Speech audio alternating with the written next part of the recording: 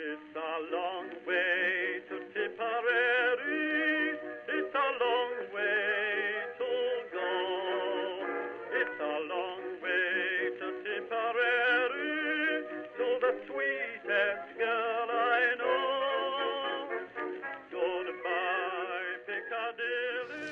Morning, ladies and gentlemen. Uh, as Colin has alluded to, I'm, I'm sort of, uh, we see, it slightly here under false pretenses, not being called Philip Robinson. But uh, please bear with me. This is a shortened version of a, of a tunnelling talk that we generally give. Um, so I may actually rattle through some parts of it, but I'm hoping that uh, um, there'll be enough for people who don't really know anything about tunnelling mining to at least take away with you um, something about it. So I'd like to just start the presentation really with um, a short clip taken from the Imperial War Museum uh, inventory of, of First World War material. Um, an indeterminate mine, and we don't really have any evidence where that is, but it gives you the, the idea of the scale. Um, the talk is on Great War tunnelling and mining, um, an introduction, um, and I'll actually go through. This is a slight deviation from, from Philip's talk, but I just want to put two or three concepts on the table, really, or on the lectern, I should say, um, before we move forward on it. Effectively, when we talk about underground warfare, we're talking about three concepts living, moving, and fighting. Now, at the end of the day, all underground warfare, to some extent, boils down to these three concepts. Sometimes it's a bit more of one, sometimes it's a bit more of the other. But effectively, if we just take very briefly uh, a sort of an illustration of these three types, I'll move more into the talk about, um, which is really where our speciality in the Durand Group lies, which is in the, the fighting systems. This is a typical German, should we say, dugout, or maybe atypical, but it shows you the length to which the Germans actually armoured their dugouts and their underground features. So from without, this is a rather stylized look at uh, the bell of Beaumont Hamel, um, a, rather sleepy German soldier in there, showing, if you like, the scale of what they, they were living in underground. Now, I think this is quite fanciful in, in places. I think that is probably more likely the kind of get-up that you, you've actually got there. There's British soldiers actually living in a cave, in a billet, could be anywhere on the Western Front, part of the stereoscopic photographs that were actually uh, introduced during the time. Um, that's probably more likely what it's like to work underground, a field dressing station, Australian troops. Um, I believe in the Hill 60 area, but Peter will know much more about it than I will. So, living underground, people went down, it's the safest place to be. Um, moving underground, we have to get from where we live to the surface, we have to get from different places underground to different places. So, here, for instance, is the light railway moving towards the cutaway, the cut, if you like, of the Hythe subway just outside Loos. Now, it's a bit, of, a bit of an innocuous photograph. It's just a light railway. That's a cut and cover feature. It goes much deeper underground later. But this photograph is actually taken at Fosse 7. It's called Charing Cross. Again, it's uh, an Australian War Memorial um, photograph. It's not, as it says in the Imperial War Museum, the Hulluch Tunnel. It is Fosse 7, which is further south near Double Crassier. But that gives you an idea of the scale of the space that you need underground to actually move when you've got kit, i.e. trains, what have you. So we come to our third facet, fighting underground. Um, again, another post photograph, third Australian tunnelling company at Hulluch. Um, very post photograph, as much of them were. Um, you can imagine how difficult it was getting cameras of any sort down uh, underground, especially in a fighting condition. Um, two photographs from the German side showing the timbering that's needed in, in various aspects of the German tunnels, and a proto man actually in a, another post photograph rescuing a, a comrade from a collapse. So again, the fighting side of it, um, the fighting tunnels you can see much, much more narrow, sort of pokey in that respect. Um, so you've got the three basic facets. So let's come on now to how we effectively work. Uh, um, we started our work in here. We, the, the, the point about the fighting underground is where did it come from? So if you think that the Western Front uh, stretched from Newport on the coast to the Swiss frontier with various, um, shall we say, hotspots in between. You can see up there coming right down through Ypres, Arras, Albert, Albert, the Somme, Verdun to the Swiss frontier. So 400 miles um, actually in total. Um, the French, we believe, were the first in the field in the Argonne on the, November the 14th to actually sort of start sinking mines against the Germans. So the first strike by the Germans, 20th of December at Festubert, 10 small mines under the trenches of one of the Indian brigades, actually new to the front. Um, effectively, panic bells were actually started, and GCHQ um, actually got involved, and, and the call was out for the miners. So, the presiding genius behind all this was a chap called Norton Griffiths. Again, most of you will be familiar now with uh, the history behind this. And he established the British Expeditionary Force Mining Companies. This is him with his famous Rolls Royce. Um, he was a member of Parliament. He was also an engineering entrepreneur. And he was also a Boer War associate of Field Marshal Lord Kitchener. And he previously proposed to the War Office that they should form a corps of moles, he called them. And they were based on employing specialist tunnellers um, called clay kickers who worked in the sewers, some of them worked in the sewers of Manchester and certainly under London. Um, so the next slide shows you an illustration of clay kicking at work, um, the cross um, of the clay kicker as he sits on the cross and digs, all the effort actually going into the back at the point where it's at its strongest. So effectively, um, the idea that it would be propped there and all, all the strength, if you like, needed to actually dig out the clay or in that particular instance would be, would be in the right area of the back. Um, obviously chalk would be different. This is a, this is a clay scenario. Okay, formation of the tunnelling company. So 170 uh, kicked off the first tunnelling company.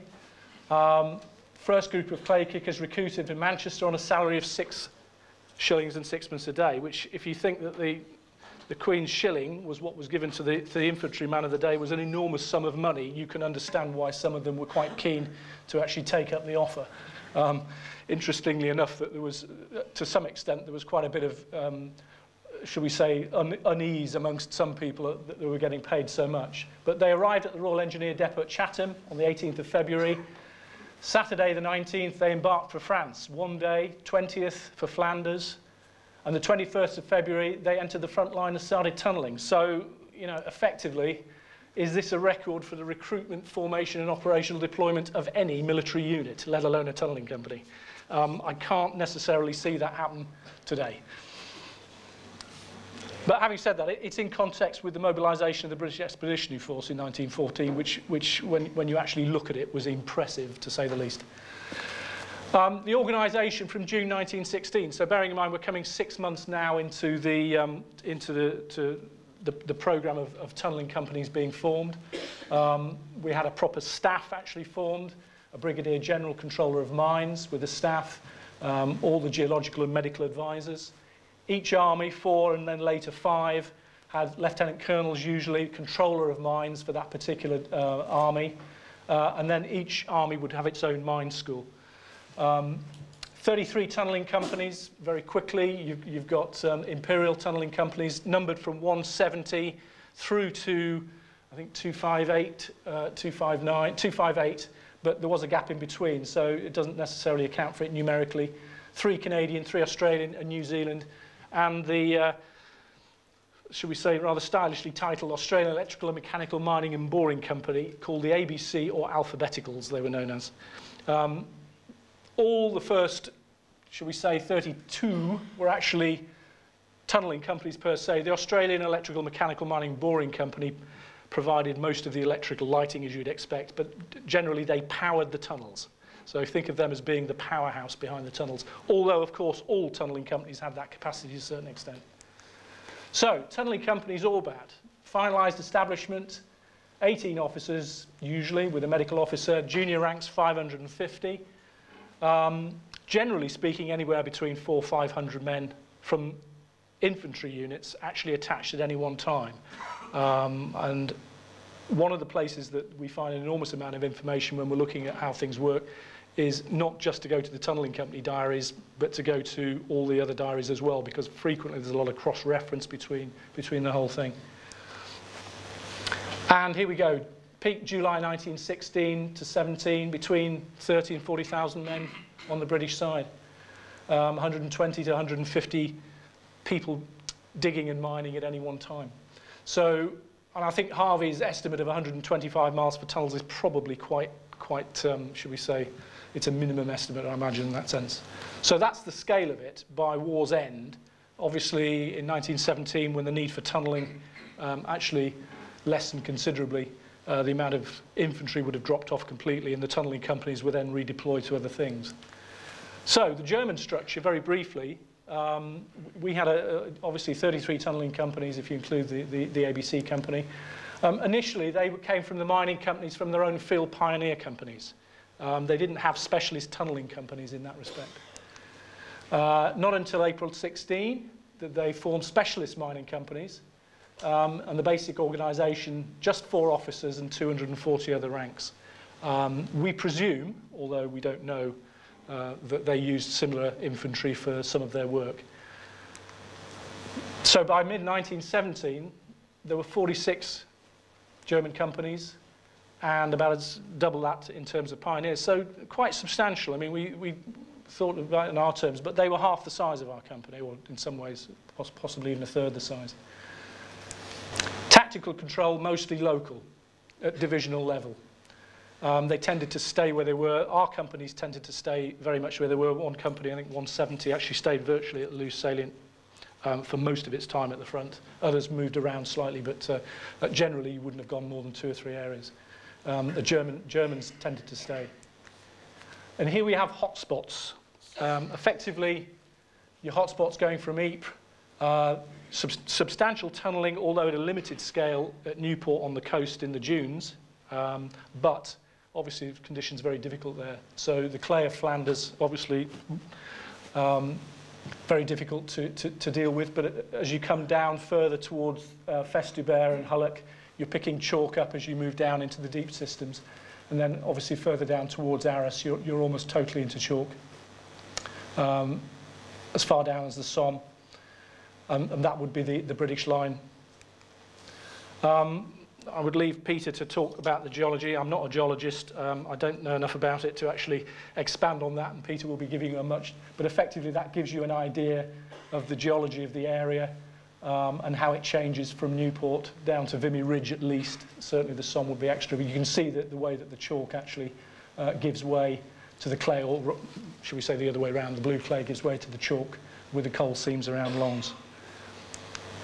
So, looking at mine warfare, we're still in fighting underground at the moment. We've not got, we've, we've done a little bit of the, the living, we've done a little bit of the moving as an introduction, but we're going to concentrate really on the fighting underground because effectively once the battle line's established and the armies actually uh, got themselves into a position where they could stand off, the logical thing was to go underground. If they couldn't attack each other and, and gain each other across the surface, um, the Germans actually started going under first, but effectively we went into a defensive mode with our mines.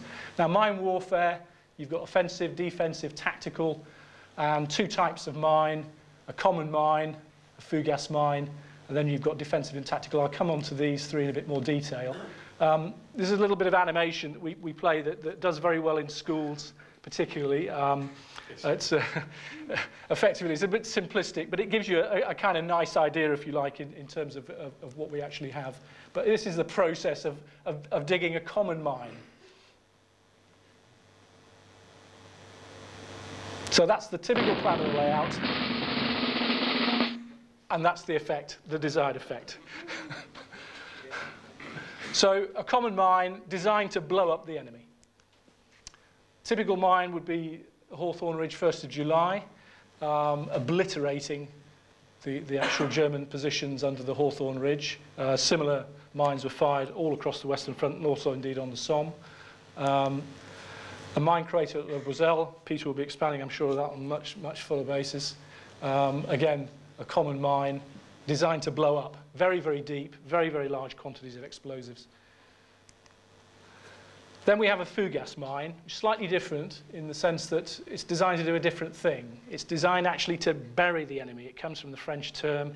Um, the old type of fougasse would be to actually cover the enemy with rubble or whatever. But the idea is you don't particularly want to actually blow the ground so badly that you can't actually traverse it. So very often a fougasse mine might be fired in order to actually um, keep the ground available.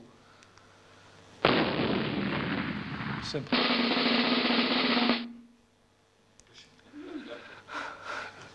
That's an example of a fougasse mine. Uh, it was so good I named the company after it. Um, the Durand mine that we actually, uh, Philip, in fact, himself actually uh, had a look at way back in 88. Um, and we were in a position to defuse um, in 98, 10 years later. Um, it's a story in itself. Um, effectively, to cut, it, to cut the long story short, what we thought was a fairly inert mine of um, six and a half thousand, um, sorry, 2,700 kilos of ammonal um, turned out to be a fully working mine with seven out of its eight primers and detonators still fully in working order. Um, 2,700 kilograms, and that was the first, shall we say, experiment in defusing mines done by uh, Colonel Watkins before his death, sadly. Um, and of course, we named the, the Group after this tunnel, a French tunnel originally, but taken over by the British. This is a British mine. So defensive camouflage, this is the, the, the, the one of the third um, aspects of it. Different kettlefish completely, different, different reasons for having this, um, above and below.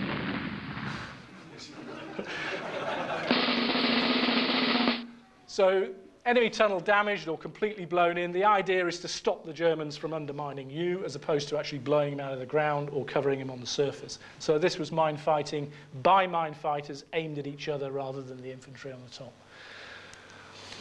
Uh, a good example of a, a camouflage, P73G3. They're snappy titles, these mines, I have to say. The P73G at, at Vimy, uh, again a British mine, laid by um, Richard Briscoe of 172 Tunneling Company. This is Colonel Mike Dollamore actually just having um, defused that particular mine, a little canny little 600 pound charge at the end of a listening gallery. Interestingly enough, when we got into T19, the German system, um, almost seven years later, we could actually hear each other in the German system from this chamber by singing uh, nursery rhymes. Uh, and that is the ST1921 system opposite P73G3. Here's some montage of photographs showing the state. You've got the um, German gallery here, close timbered, even in chalk, but some very dodgy chalk, nicely cut tunnels, and obviously the engineering involved that we had to use to get down it, and some of the artifacts, a complete generating chamber, German generating chamber, and of course the ubiquitous mashers strewn around all over the place. Moving on from how do you actually get your people out? So mines produce carbon monoxide if they're blowing. Um, a backblast from a mine might actually come right the way through a deep defensive system. Um, proto men would be used, specialist engineers um, who would be used to get the miners out. They had their own dugouts, they had their own equipment facilities. Um, most tunnels would have it. Here, for instance, you've got practice to establish a mine rescue station about every 1,000 yards underground. Um, this gentleman, Eugene Kelly, unfortunately killed in April 1918 um, in the Hulluch Tunnel. Here we have an example of a listening device, uh, geophone, uh, used, commonly used along with size microphones uh, to listen for the enemy. So the tunnels were in a position where um, it's no to fight him, you've got to find him. And from that point of view, listening was critical. Um, and we're in a position where, just looking at that diagram, you've got a position where interception, tunnels, posts, listening posts, quite a complex way of actually trying to look for the enemy. So, tactical mines. Purpose could include denying ground, creating obstacles, blocking enfilade fire, advancing position, and providing higher rims to overlook the enemy. So, here you've got a mine position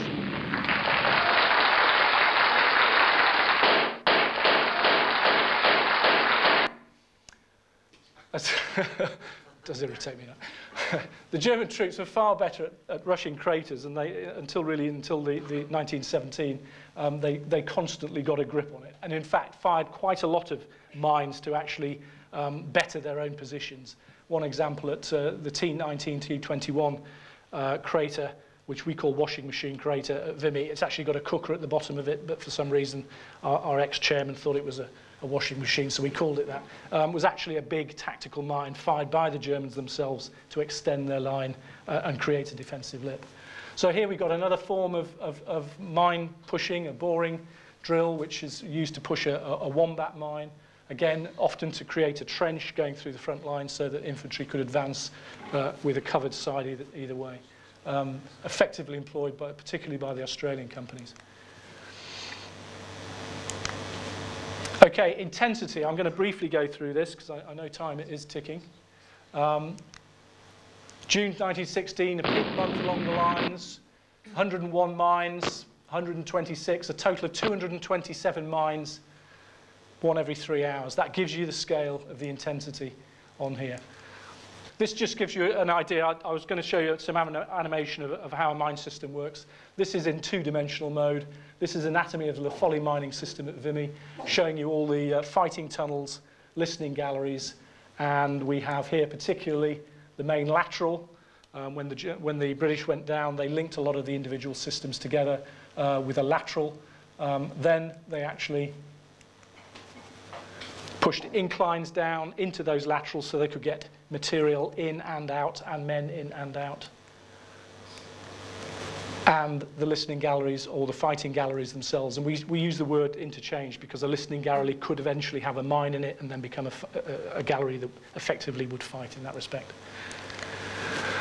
And intersected by two subways, infantry conduits. So here we've got another facet. We've got the fighting systems actually with, and we have covered tunnels, large tunnels moving from rear to forward lines, carrying troops, carrying material, um, effectively fueling, taking out material, pushing men in to the front line. Um, these are the moving underground facets um, which augment the actual fighting aspect of it.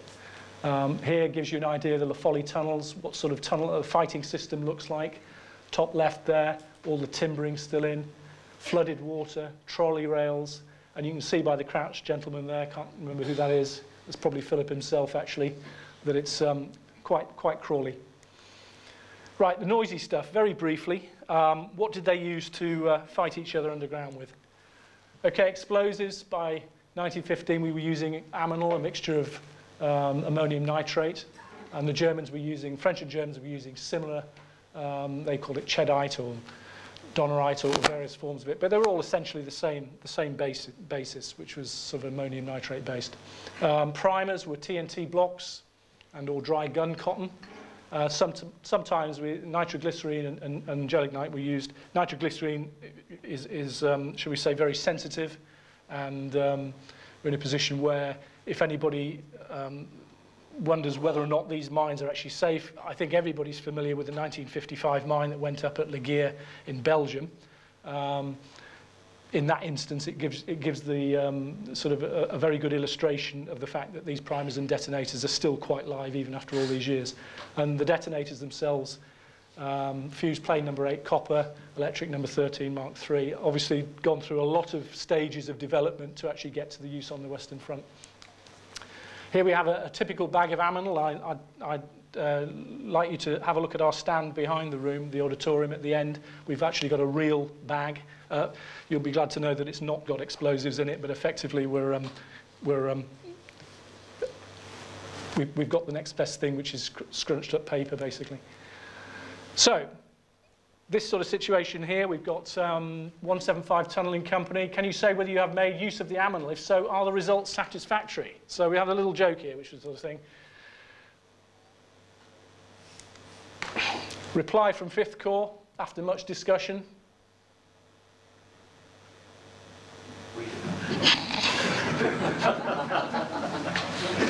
read it for the back, Andy. Read it for the back, so Can everybody see that? so, moving on. This gives you an example. This is Butte de Warlencourt, uh, sorry, Butte, Butte de Vauquois, um, down on the, the French front, uh, of what the landscape can say to you when you're looking at it from the air. This, this is like craters on the moon. We use this expression quite often when we're talking about First World War craters and, and um, shell holes, uh, none more so than here down at uh, Vauquois. The Ypres salient and the Messines Ridge, another hot spot of fighting. Again, 1917, 19 huge mines fired in, in June the 7th uh, in support of the Battle of Messines. Um, effectively, though, apart from several instances, and this is one key instance, mining really didn't change the game for the infantry on the surface. Even despite firing 19 mines, the advantage still has to be taken by the infantry to, to take and hold ground. So we're still in a position where you can explode as many mines as you like underground. But once the infantry have moved over that ground, you're back to square one with your mining, which is why mining, in some instances, in some areas of the front, was so transitory, because the, the, idea was not to stay, the idea was to move over. Of course, there are several areas where that never happened, and mining actually moved into siege warfare. So that gives you an idea of some of the leftover mines, just a few of them, and down at the bottom here, still left over, and the one that exploded in the thunderstorm. Uh, and that's the effect that happened in 1955. This photograph was given to me by a gentleman who lives in a house just about 100 yards from this spot. Um, and he invited me in for a coffee and, and said, I've got something to show you. And he was one of the little boys actually at the bottom of the crater. Uh, he'd be in his late 50s now. So moving underground very briefly, and we are going to be brief now. Two examples of subways, infantry conduits, the way we get from the rear lines to the front lines. Two conduits at Vimy Ridge, Cavalier and Tottenham, and you can see the elaborate nature of what we were putting in there. Effectively, all the subways that were dug for the Vimy battles had different, slightly different reasons for, for doing it, but they all had an entrance, a forward entrances, they all had rear exits, they all had intermediate points to actually come in. They all had services. They all had power, they all had railways within them, they all had billets, they all had latrines, field dressing stations. Some of them had command and control for infantry units. Um, effectively, what it meant was that the soldiers could get up front and personal to the battlefield, if you like, in relative safety without actually uh, being subject to the German bombardment. So that gives you an idea of the scale of the living and moving underground as we get forward. And that's what it's like in the Goodman subway. We're in a position where we found uh, water tanks, graffiti, of course, absolutely uh, masses of graffiti. Um, very little of it from the first day of the Battle of Vimy Ridge, as it happens, mostly from afterwards. Um, but it goes, that shows you the scale of what we're looking for and how we actually go about it. Um, probably the largest internal, I wouldn't say internal man-made structure in that sense, but use of an internal structure at Wellington Cave, uh, Maison Blanche, David's going to speak much further uh, uh, this, this, afternoon um, on Maison Blanche, so I'm not going to steal his thunder on that. But Wellington, that shows you the scale. Let's not forget 184 and 179 tunnelling companies, the New Zealanders tend to get all the, the, the, the praise for the, the Wellington uh, and the Arras caves, but sterling work by two, two companies from the UK actually did as much in one of the systems. But that shows you that the companies linking all these, these caves that were dug for other reasons, um, making use of them to actually aid in the Battle of Arras. Of course, once mining and tunnelling actually then moved elsewhere and the front decided to become more mobile, um, the tunnelling companies had less use in their old siege warfare capacity. So um, they became various experts in all of the things you see there, mine dugouts, demolitions, wells, laying light railways. They were multitasked, if you like, towards the end of the war from 1917 to 1918. Although, of course, some companies in those areas that didn't move right until the end of the war, um, the tunnelling companies still were, were within the remit that they were formed.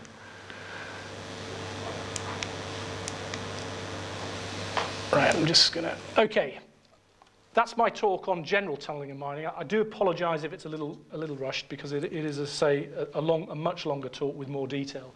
I'm just going to, to, to mention um, a brief thing for two minutes um, because the Durand Group have decided that, that what we'll be doing for the next four years one of the things, the key two key areas that we'll be concentrating on for the next uh, two years, which encapsulates all of this, will be the Loos salient underground from the La Bassée Canal to the double crassier at the bottom. Effectively, very briefly, um, down here you've got Lens, the outskirts of Lens, moving up towards the La Bassée Canal. Um, this was the Battle of Loos in 1915. Um, the idea was to drive the Germans back and also take pressure off um, the coal fields, which the French badly needed. Um, that gives you a little bit of a closer look around here. We've actually got um, the, coal, the village of Loos itself. This shows you the salient that was pushed out in the September battle for 1915. That shows you the mining map, and these are briefly, this is the mining front going underneath the, the village of Loos. The double crassier itself looks nothing like what it does today. It's much bigger today than it would, would be in those days. Have a look at this at the back when you get a chance for some coffee. This is basically our interpretation of the mining system going over the current uh, field. You'll see how the encroaching archaeology uh, potential here is, is becoming problematic for us uh, as more and more settlement is taken on there and industrial estates as well. Uh, again, a little bit closer detail. Red German, sort of greeny blue is the British systems. Not a very good resolution slide, but that shows you a industrial estate with the mine system going right underneath it, and each of those little orange pieces is, a, is an exploded mine. Um, so that tells you the ground we're dealing with here. COP sector, this was the sector we've just been looking at. These are just a few of the images from underground. Um, we got into the deep, deep system. This is a multi-level system, three levels down, 112 feet. Um, at the bottom of it, we found um, railways, all sorts of things, partially underwater, four foot of water, but beautiful, pristine cut tunnel. To the northern end, three weeks ago, we've been investi investigating around Hulluch and the Hohenzollern Redoubt. Uh, again, part of the Loos salient uh, operation that we'll be doing. And that's what the mining sector looked at almost at this, this part.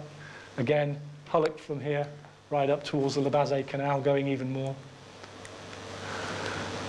Our interpretation of the same plan over a Google satellite, and this isn't the place to say this, but it's a very sophisticated um, way of actually trying to get information now. We, we bring all, all things to bear, and uh, all of us working either on the Somme or in Belgium or in Loos battlefields are all employing the same techniques. And here's some pictures that we took two or three weeks ago, having broken into the Hulluch St. Elie system. This system has the potential to move underground for seven kilometres from the Hulluch to the Le Canal. Uh, we've reached several blockages, but that, they're engineering solutions, not, not problems. Uh, engineering challenges, I should say, not problems. And we are working very closely with the local communities to interpret this as part of the Loos salient.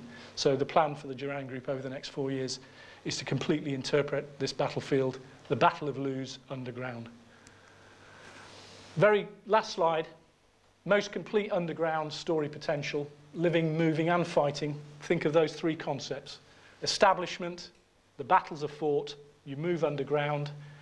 We defended initially against the Germans' onslaught, and then we began offensive defensive. So we broke out from purely defensive mode and started taking the fight to the Germans.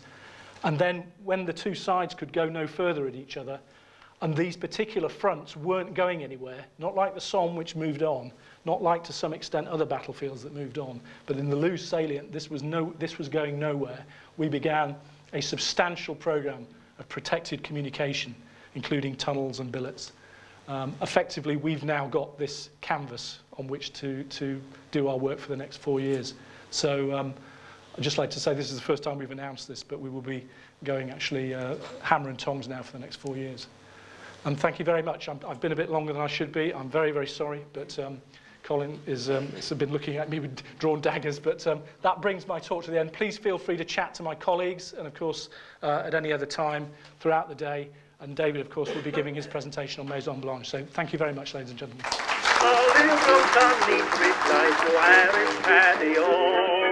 Saying Mike Maloney wants to marry me and so leave the Strand and Piccadilly, or you'll be to blame.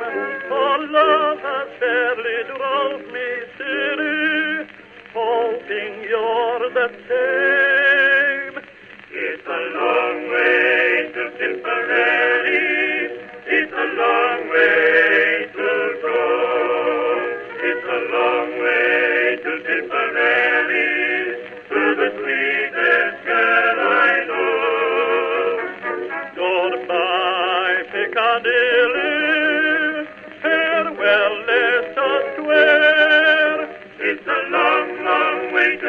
Hare